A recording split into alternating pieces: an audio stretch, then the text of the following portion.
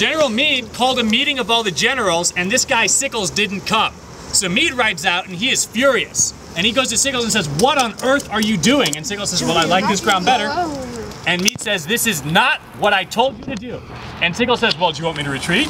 And Meade's looking around. He knows if these guys retreat at this point, they're going to be taken apart because these guys are already attacking. So Meade says, No, you've made a terrible mess. Now you have to stick around and try to figure it out. So Meade takes off. Okay, I'm going to do a short version of it. Okay? All right, so Hood attacks. Remember, he saw an open way around to go around this way, and he said, Longstreet, please, let's go around this way. And Longstreet says, the old man wants us to attack straight on, so that's what we're gonna do. So Hood comes forward and they fight through this huge mess. The peach orchard, the wheat field, the devil's den, and it's just huge, massive casualties. Hood loses half his men, Hood gets injured, gets wounded, but they take the devil's den finally.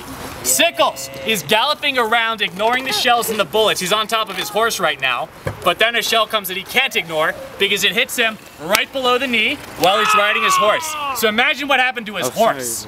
Okay, his horse probably ended up even worse than he did. He gets knocked off his horse, and his his second his adjutant comes over and says, General Meade, oh sorry, General Sickles, are you hurt? And he's got you know his bones sticking out, and he's got this huge mess. And the guy was like, Yes, I'm hurt. And so he has a he has a tourniquet put on his leg.